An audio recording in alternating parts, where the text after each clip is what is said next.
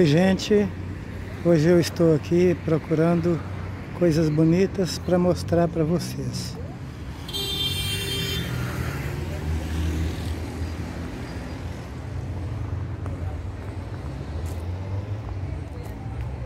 Estamos aqui na floricultura.